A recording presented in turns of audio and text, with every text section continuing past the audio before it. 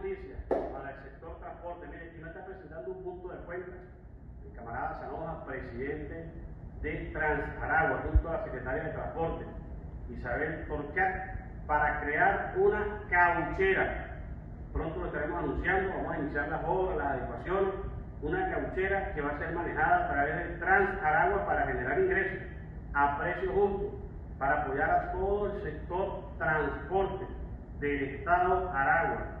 Bueno, ya con este punto de cuenta, nosotros vamos al inicio y no debe pasar de 90 días, Sanoja, que estemos inaugurando esta tremenda cauchera que también puede ser una proveeduría también para el sector transporte, no solo apoyar el transporte, sino también esta cauchera para apoyar a todo el sector transporte. Nosotros venceremos.